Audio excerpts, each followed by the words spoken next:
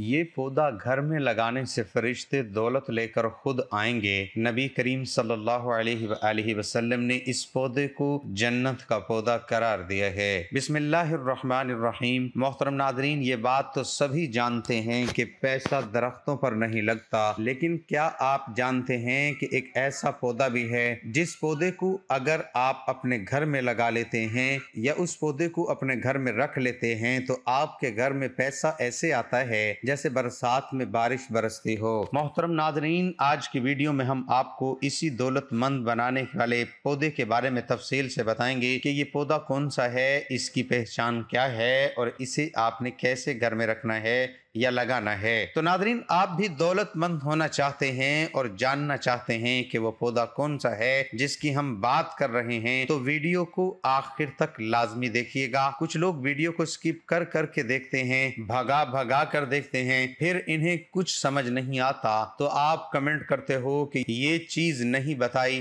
وہ چیز نہیں بتائی تو مہربانی کر کے ویڈیو کو شروع سے لے کر آخر تک پورا دیکھا کریں اور آپ سبھی بھائیوں اور بہنوں سے ایک چھوٹی سی گزارش کریں گے کہ جلدی سے آپ اس ویڈیو کو لائک اور شیئر کر دیجیے کیونکہ ہم آپ کے لیے آپ کی ہی ضرورت کی ویڈیو لاتے ہیں۔ محترم ناظرین، قرآن مجید کی تلاوت کرنے والا قیامت کے روز قرآن مجید لکھنے والے معزز فرشتوں کے ساتھ ہوگا۔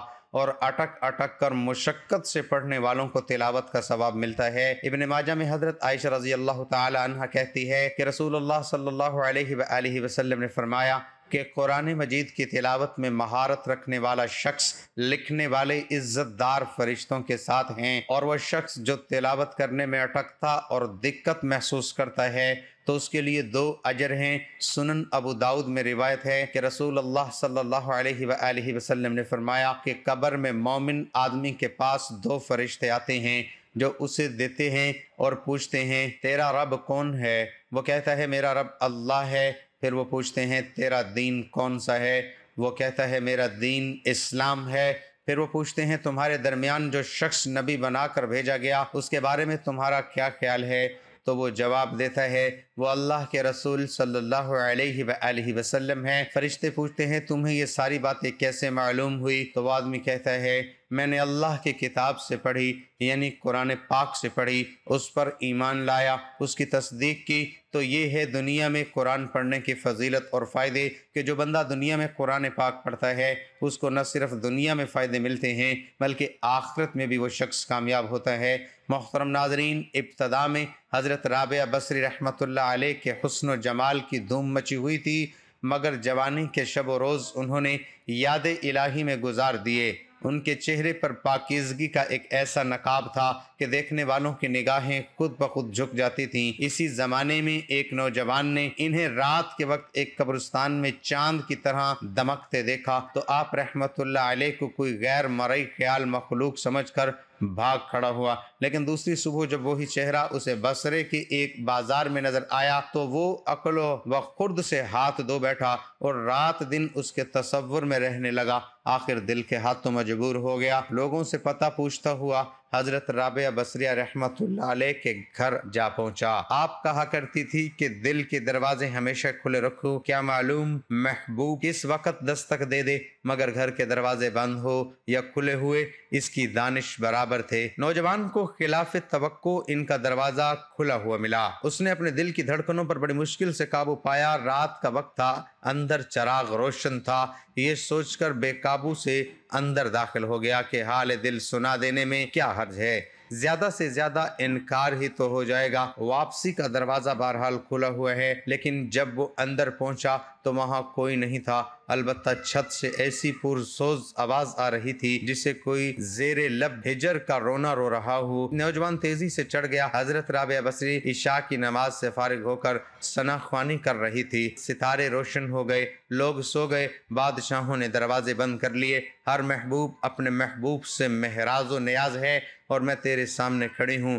نوجوان پر سختہ تاری ہو گیا۔ اسی اسنا میں حضرت رابع بصیر رحمت اللہ علیہ نے پلٹ کر اسے ایسی کہر آلود نظروں سے دیکھا کہ اس کی زبان گند ہو گئی۔ رابع رحمت اللہ علیہ نے اس کے قریب آ کر پوچھا، کیا تم مجھ سے شادی کی درخواست کرنے آئے ہو؟ نوجوان نے لرزتے ہوئے ہاتھ سے اپنی زبان کی طرف اشارہ کیا کہ وہ بول نہیں سکتا۔ حضرت رابعہ بصری رحمۃ اللہ علیہ نے کہا، اس سے پہلے کہ زبان کی طرح تیرا دل بھی چپ ہو جائے، تو جس راستے سے آیا ہے، اسی راستے سے لوٹ جا۔ نوجوان صرف آنکھوں سے التجا کر سکتا تھا کہ نیک خاتون میری گویائی مجھے واپس کر دے، میں تیرے مرتبے سے واقف نہیں تھا۔ مجھ سے غلطی ہوئی، مجھے معاف کر دے۔ ہمیشہ قابل معافی ہوتی ہے۔ اس کی خاموش آنسوؤں کے جواب میں حضرت رابعہ بصیر رحمۃ اللہ علیہ نے کہا، نوجوان، تو نے اگر مجھ سے کوئی زیادتی کی ہوتی تو میں تجھے یقیناً معاف کر دیتی۔ میں نے خود کو بہت پہلے اپنے رب کے حوالے کر دیا تھا۔ اب یہ معاملہ تیرے اور رب کے درمیان ہے۔ معافی مانگنا ہے تو اس سے مانگ۔ صد کے دل سے توبہ کرنے کا ارادہ کرے تو شاید توبہ کی خاطر تیری زبان کھل جائے۔ یہ کہہ کر وہ نماز کے لیے کھڑی ہو گئی۔ نوجوان بھی بے اختیار سجدے میں گر گیا اور وہ رو رہا تھا۔ نامعلوم کب تک روتا رہا۔ جب اسے ہوش آیا تو زبان کھل چکی تھی اور توبہ توبہ کا ورد کر رہی تھی۔ بسرہ کے بازاروں میں صالحہ سال تک ایک مجذوب گرمی جھاڑے اور برسات سے بے نیاز ہو کر دیوانہ توبہ توبہ کر کے نعرے لگاتا رہا۔ اس کے نعروں سے راتیں گونج اٹھتی تھی اور بچے سہم کے ماؤں کے سینے میں دبک جاتے تھے۔ آخر ایک دن وہ مجذوب اچانک ہی کہیں غائب ہو گیا۔ پھر کبھی اس کا پتہ نہ چلا۔ وہ مجذوب یہی مذکورہ نوجوان تھا جو حضرت رابع بصری رحمت اللہ علیہ کی بدولت ہی دربار خدا بندی میں مقرب ٹھہرا۔ ناظرین، شریعت اسلامیہ میں مساکین اور غریبوں کو کھانا کھلانے اور ان کی دنیاوی ضرورتوں کو پورا کرنے کی بار بار ترغیب و تعلیم دی گئی ہے۔ حضور اکرم صلی اللہ علیہ وآلہ وسلم سے سوال کیا گیا کہ اسلام میں کون سا عمل زیادہ افضل ہے؟ آپ نے فرمایا، لوگوں کو کھانا کھلانا اور ہر شخص کو سلام کرنا، خواہ اس کو پہچانو یا نہ پہچانو۔ اسی طرح فرمان رسول ہے کہ کوئی دنیاوی مشکل دور کرے گا، اللہ تعالیٰ قیامت کی سختیوں میں سے اس پر سے ایک سختی دور کر دے گا اور جو شخص کسی تنگ دست پر سہولت کرے گا، اللہ تعالیٰ دنیا و آخرت میں ایسی اس پر سہولت کرے گا جب تک بندہ اپنے بھائی کی مدد میں لگا رہتا ہے، اللہ تعالیٰ بھی اس کی مدد میں رہتا ہے۔ نماز کی ادائیگی میں کوتاہی کرنے والوں کو جہنم میں ڈالا جائے گا۔ قرآن حدیث کی روشنی میں پوری امت مسلمہ کا اتفاق ہے کہ فرض نماز جان بوجھ کر چھوڑنا بہت بڑا گناہ ہے۔ شریعت اسلامیہ میں زنا کرنے چوری کرنے اور شراب پینے سے بھی بڑا گناہ نماز کا ترک کرنا ہے۔ نماز میں کوتاہی کرنے والوں کی سزا کے متعلق صرف تین آیات پیش ہیں۔ ان نمازیوں کے لیے خرابی اور ویل نامی جہنم کی جگہ ہے۔ جو نماز سے غافل ہیں، اس سے وہ جو لوگ مراد ہیں، جو نماز یا تو پڑھتے ہی نہیں، یہ پہلے پڑھتے رہے۔ پھر سست ہو گئے یا جب جی چاہتا ہے پڑھ لیتے ہیں یا تاخیر سے پڑھنے کو معمول بنا لیتے ہیں، یہ سارے مفہوم اس میں آ جاتے ہیں۔ اس لیے نماز کی مذکورہ ساری کوتاہیوں سے بچنا، پھر اس کے بعد ایسے ناخلف پیدا ہوئے کہ انہوں نے نماز ضائع کر دی اور نفسانی خواہشوں کے پیچھے پڑ گئے۔ نماز نہ پڑھنے والوں کو جہنم کی انتہائی گہری اور شدید گرم وادی میں ڈالا جائے گا، جہاں خون اور پیپ بہتا ہے۔ تمہیں دوزخ میں کس چیز نے ڈالا؟ وہ جواب دیں گے کہ ہم نہ نمازی تھے، نہ مسکینوں کو کھانا کھلاتے تھے۔ اہل جنت جنت کے بالا خانوں میں بیٹھے جہنمیوں سے سوال کریں گے کہ اس وجہ سے تمہیں جہنم میں ڈالا گیا؟ تو وہ جواب دیں گے کہ ہم دنیا میں نماز نہ پڑھتے تھے اور نہ ہی مسکینوں کو کھانا کھلاتے تھے اور فرمائیے کہ جہنمی لوگوں نے جہنم میں ڈالے جانے کی سب سے پہلی وجہ نماز نہ پڑھنا بتایا، کیونکہ نماز کے بعد اسلام کا اہم اور بنیادی رکن زکوٰۃ ہے جو ہر مسلمان کے ذمہ ہے۔ قرآن و سنت کی روشنی میں امت مسلمہ کا اجتماع ہے کہ جو شخص زکوٰۃ کے فرض ہونے کا انکار کرے وہ کافر ہے اور زکوٰۃ کی ادائیگی نہ کرنے والا گناہ کبیرہ کا مرتکب ہے، جس پر آخرت میں سخت سزائیں دی جائیں گی۔ اگر مرنے سے قبل اس نے سچی توبہ نہیں کی، تو صورت توبہ آیت نمبر چونتیس پینتیس میں اللہ تعالیٰ ان لوگوں کے لیے بڑی سخت وعید بیان فرمائی ہے، جو اپنے مال کی کما حقہ زکوٰۃ نکالتے نہیں۔ اس صورت کے آخری لفظ معاون کے معنی معمولی چیز سے کیا گیا ہے۔ اس لفظ کے نام پر صورت کا نام معون رکھا گیا ہے۔ اصل میں معون اس برتنے کی معمولی چیزوں کو کہتے ہیں جو عام طور پر ایک دوسرے سے مانگ لیا کرتے ہیں۔ جیسے برتن وغیرہ، پھر ہر قسم کے معمولی چیزوں کو بھی معاون کہتے ہیں۔ بعض صحابہ اکرام نے اس کی تفسیر زکوٰۃ سے کی ہے، کیونکہ وہ بھی انسان کی دولت کا معمولی چالیسواں حصہ ہوتا ہے۔ اس صورت میں ہمارے لیے سبق اللہ اور اس رسول پر ایمان کے ساتھ آخرت کی جزا اور سزا پر ایمان لانا، یتیموں کی کفالت کرنے میں بڑھ چڑھ کر حصہ حصہ لینا، مسکین اور محتاج لوگوں کی دنیاوی ضرورتوں کو پورا کرنے میں سبقت کرنا۔ اگر خود غریب لوگوں کی مدد نہیں کر سکتی تو کم از کم ایسے کاموں میں شریک ہونا، جن کے ذریعے غریب لوگوں کی مدد کی جا رہی ہو۔ خوشو و خضو کے ساتھ فرض نمازوں کا اہتمام کرنا، فرض نمازوں کے ساتھ سنت و نوافل کی بھی پابندی کرنا ہر نیک عمل صرف اور صرف اللہ کی رضا جوئی کے لیے کرنا، ریاکاری اور شہرت اعمال کی بربادی کا سبب ہے۔ مال پر زکوٰۃ کے فرض ہونے پر اس کا حساب لگا کر ہر سال زکوٰۃ کی ادائیگی کرنا، ناظرین، اگر کوئی پڑوسی یا رشتہ دار روز مرہ استعمال میں آنے والی چیزیں مانگے، حتی الامکان اسے منع نہ کرنا، حقوق اللہ کے ساتھ حقوق العباد کی ادائیگی میں کوتاہی نہ کرنا، حقوق اللہ میں ایمان کے بعد سب سے اہم عبادت نماز اور زکوٰۃ ہے، اپنے اعمال پر توجہ دیجیے حقوق العباد لازمی پورے کیجیے اور حقوق اللہ کا بھی خیال رکھیں، کیونکہ اللہ کبھی حقوق کے تلف کرنے والوں کو پسند نہیں فرماتا۔ قیام قیامت کے دن اللہ اپنے حقوق کو معاف فرما دے گا، مگر حقوق العباد یعنی اللہ کی مخلوق کے حقوق جو آپ نے ادا نہیں کیے ہوں گے، ان کو معاف نہیں فرمائے گا، اس پر آپ کو سزا دی جائے گی۔ اور آپ کی نیکیوں سے ان حقوق کو ادا کیا جائے گا۔ محترم ناظرین، میرے نبی صلی اللہ علیہ وآلہ وسلم نے فرمایا تھا، جو غربت ہوتی ہے جو پیسے کی کمی ہوتی ہے، یہ انسان کو کفر تک لے جاتی ہے یا بے راہ روی کا شکار کر دیتی ہے، پھر انسان غلط سوچ سوچنا شروع ہو جاتا ہے۔ بھوک کی وجہ سے تنگ دستی کی وجہ سے گھروں کے گھر تباہ و برباد ہو جاتے ہیں۔ تو اسی لیے ناظرین، پیسے کا حصول، پیسے کا حاصل کرنا بہت زیادہ اہم ہو چکا ہے۔ میرا رب ایک واحد ہے جو پوری کائنات کا رازق ہے۔ پوری کائنات کا مالک ہے، پوری کائنات کا خالق ہے۔ اللہ تعالیٰ غفور الرحیم ہے۔ وہ ہر چیز پر قادر ہے۔ سبھی کی خواہش ہوتی ہے۔ کہ ان کے پاس ڈھیر و دولت ہو اور اس کے لیے وہ دن رات محنت بھی کرتے ہیں۔ یہ پودا موجود ہو تو دولت دروازے توڑ کر گھر میں داخل ہونے لگتی ہے۔ ناظرین اکرام بے برکتی عام ہوتی جا رہی ہے۔ یہی وجہ ہے کہ شاید کوئی گھر اس پریشانی سے محفوظ نظر آئے۔ حضرت سیدنا حدیبہ بن خالد رحمت اللہ علیہ کو خلیفہ بغداد مامون رشید نے اپنے ہاں کھانے کی دعوت میں بلایا۔ کھانے سے فارغ ہو کر کھانے کے بعد جو دانے وغیرہ گر گئے تھے، حضرت سیدنا حدیبہ بن خالد رحمت اللہ علیہ چن چن کر تناول فرمانے لگے۔ خلیفہ بغداد معاون رشید نے حیران ہو کر کہا اے شیخ، کیا آپ کا ابھی تک پیٹ نہیں بھرا؟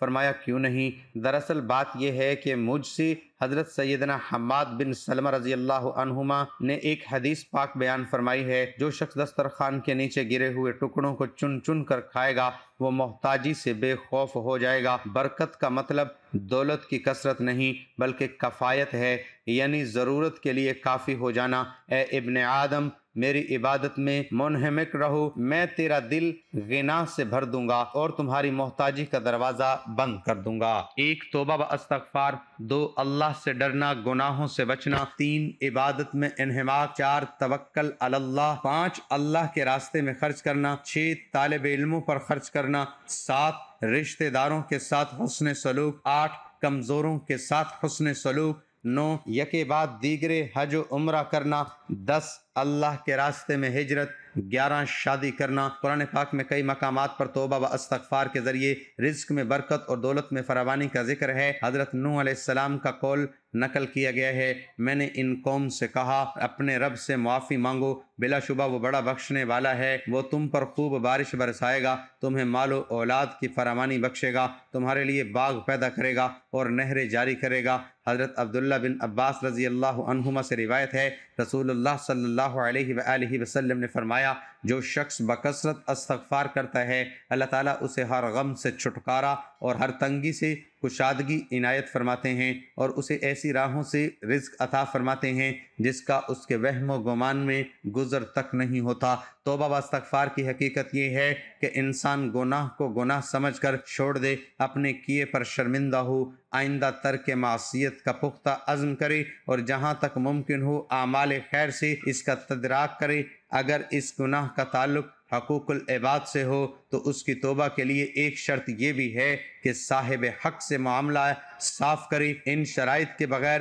توبہ بے حقیقت ہے۔ اللہ سے ڈرنا، گناہوں سے بچنا، تقوی اللہ کے احکام پر عمل اور شرن ممنوع چیزوں سے اجتناب کا نام ہے۔ تقوی ان امور میں سے ایک ہے جن سے رزق میں برکت ہوتی ہے۔ اللہ تعالیٰ فرماتے ہیں، جو اللہ سے ڈرے گا، اللہ اس کے لیے راہیں نکال دے گا اور اس کو وہاں سے رزق دے گا، جہاں سے اس کو گمان بھی نہ ہوگا۔ دوسری جگہ اللہ تعالیٰ کا ارشاد ہے اور اگر بستیوں کے لوگ ایمان لاتے اور تقوی اختیار کرتے تو ہم آسمان و زمین کی برکتوں کے دروازے ان پر کھول دیتے لیکن انہوں نے جٹلایا اس لیے ہم نے ان کی کمائی کی پاداش میں ان کو پکڑ لیا۔ بہت سے لوگ کثرت مال کے باوجود معاشی تنگی کا رونا روتے ہیں اور معاشی طور پر بہت سے درمیانے درجے کے لوگ انتہائی اطمینان سے زندگی گزارتے ہیں۔ یہ فرقہ صرف برکت کی وجہ سے ہے۔ عبادت میں انہماک، اس سے مراد یہ ہے کہ عبادت کے دوران بندے کا دل اور جسم دونوں حاضر رہیں۔ اللہ کے حضور میں خوشو و خضو کا پاس رکھیں۔ اللہ کی عظمت ہمیشہ اس کے دل و دماغ میں حاضر رہے۔ حضرت ابو حریر رضی اللہ عنہ روایت فرماتے ہیں کہ نبی اکرم صلی اللہ علیہ وآلہ وسلم نے فرمایا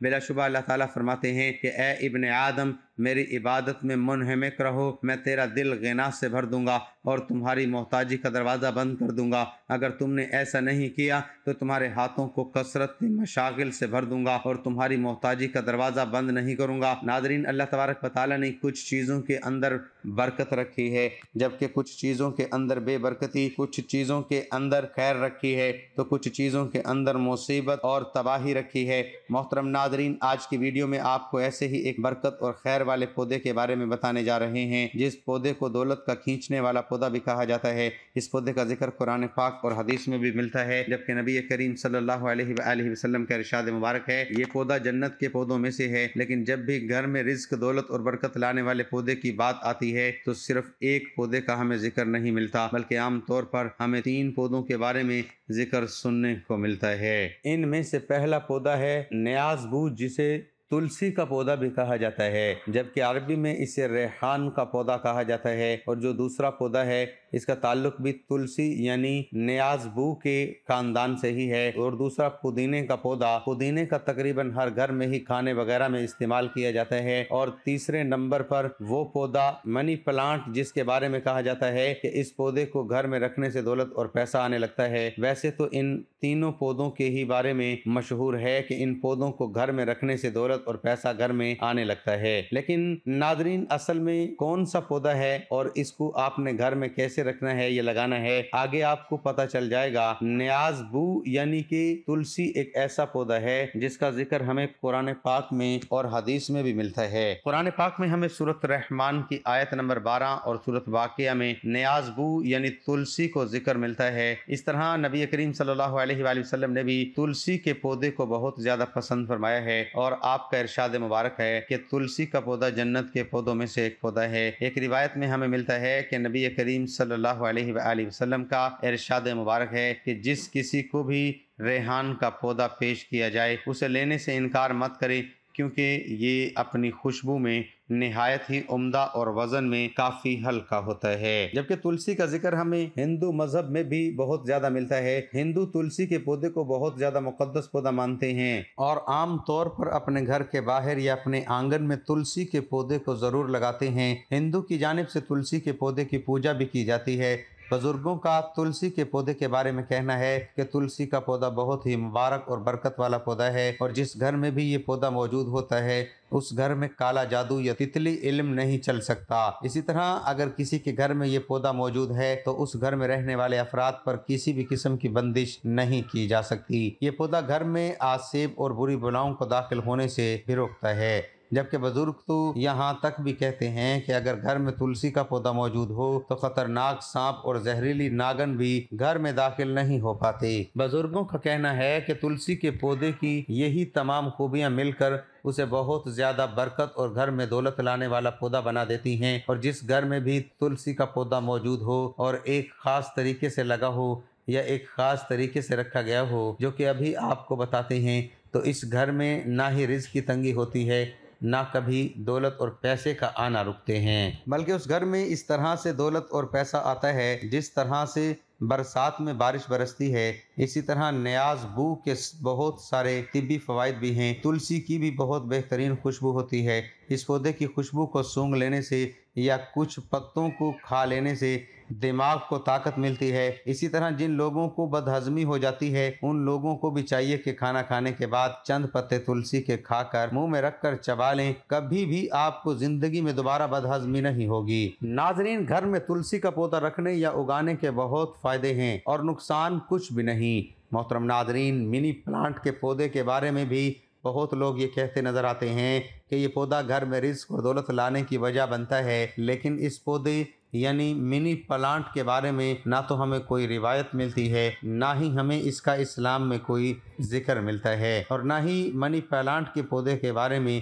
بزرگوں نے ہمیں یا کوئی بھی ایسی بات بتائی ہے۔ اس لیے ناظرین، منی پلانٹ کا پودا گھر میں رکھنے سے یا لگانے سے دولت آتی ہے، اس بات میں کسی قسم کی کوئی سچائی نہیں ہے۔ منی پلانٹ کا پودا بس ایک عام پودوں کی طرح ہی ہے۔ اسے آپ گھر میں پودے کے طور پر یا پھر ڈیکوریشن کے طور پر رکھ سکتے ہیں۔ لیکن اگر آپ یہ سوچیں کہ منی پلانٹ کا پودا گھر میں رکھنے سے دولت آنے لگے گی، اس طرح کی باتوں میں بالکل بھی سچائی حقیقت نہیں۔ بزرگوں کی بتائی گئی تعلیمات کی روشنی میں ہمیں صرف دو پودوں کے بارے میں حتمی طور پر پتہ چلتا ہے کہ وہ پودے برکت والے ہیں، جن میں سے ایک پودا تلسی یعنی نیاز بو کا ہے جس کے بارے میں اوپر آپ کو بتا چکا ہوں کہ یہ پودا گھر میں نہ صرف رزق اور دولت لاتا ہے، پیسہ لاتا ہے، بلکہ اس کے اور بھی بے شمار فائدے ہیں۔ اور جو دوسرا پودا ہے، جو کہ گھر میں برکت اور دولت لانے کی وجہ بنتا ہے، وہ ہے پودینے کا پودا۔ ناظرین، گھر میں رزق، دولت، پیسہ لانے والا پودا یعنی کہ تلسی اور پودینہ،